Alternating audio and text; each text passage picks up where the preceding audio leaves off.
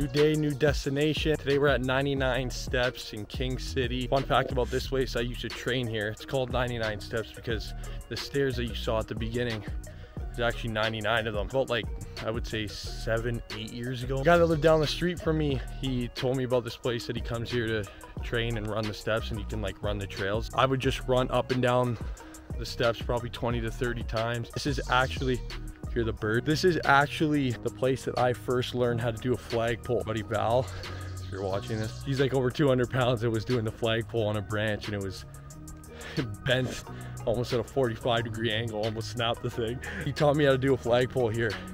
And uh, yeah, this is where I first learned and did my first flagpole. This place, it was raining earlier today, so it's so hot and damp now, and the mosquitoes are killing me. There's no mosquitoes in California, so I'm not used to that.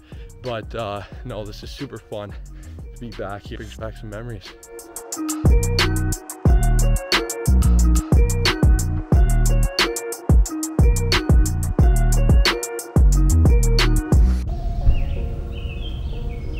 I'll say something about the Sharks that you may not know.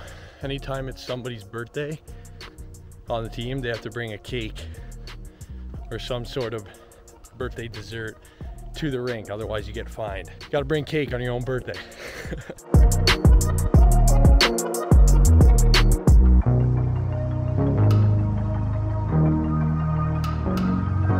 that it looked like a mosquito the teeth that mosquitoes have, like it was probably three inches long. Like I'm not even kidding, like it was buried in the wood.